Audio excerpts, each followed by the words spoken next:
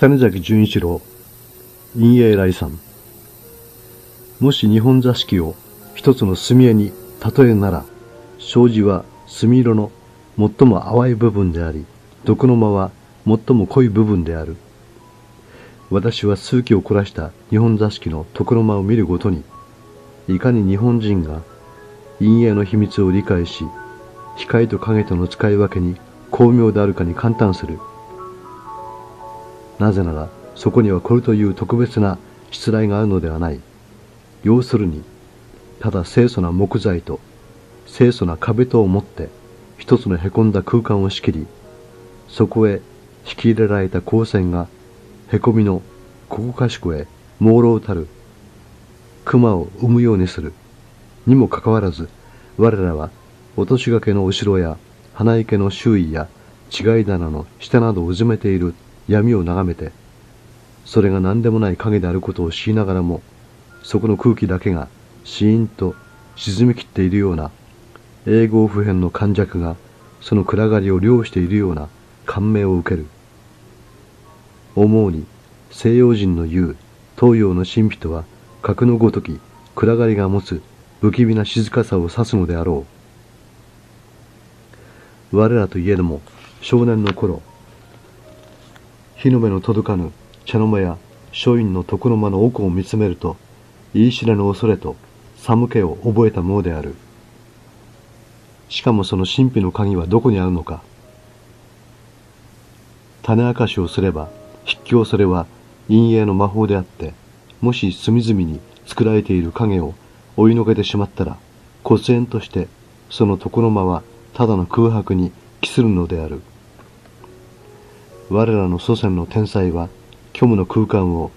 任意に遮蔽して、おのずから生ずる陰影の世界に、いかなる壁画や装飾にも勝る有限味を持たせたのである。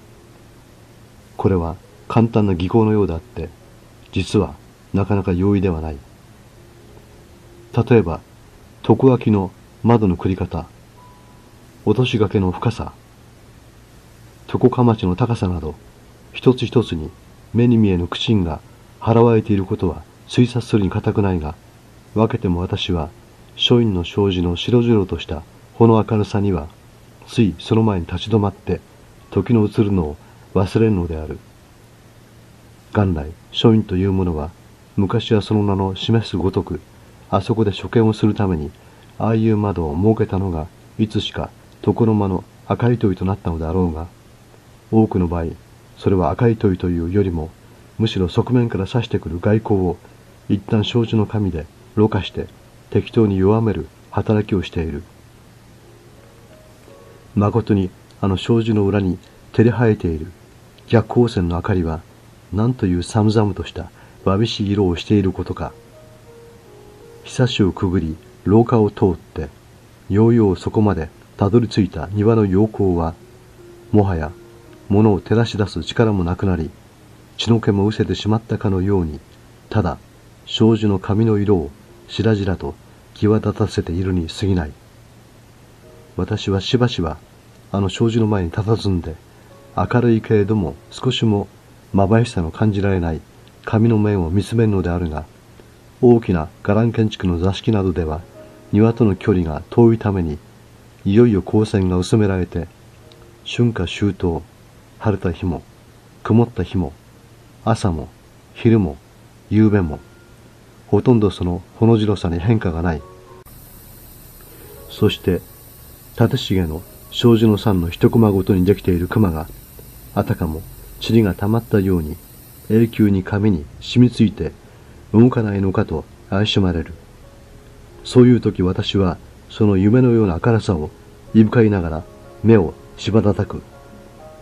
何か目の前にもやもやと陰のものがあって視力を鈍らせているように感じる。それはそのほの白い髪の反射が床の間の濃い闇を追い払うには力が足らず、かえって闇に跳ね返されながら、明暗の区別のつかぬ混迷の世界を現実つあるからである。諸君はそういう座敷へ入った時に、その部屋に漂うている光線が普通の光線とは違うような、それが特にありがたみのある重々しいもののような気持ちがしたことはないだろうか。あるいはまた、その部屋にいると時間の経過がわからなくなってしまい、知らぬ間に年月が流れて出てきた時は、白髪の老人になりはせぬかというような悠久に対する一種の恐れを抱いたことはないだろうか。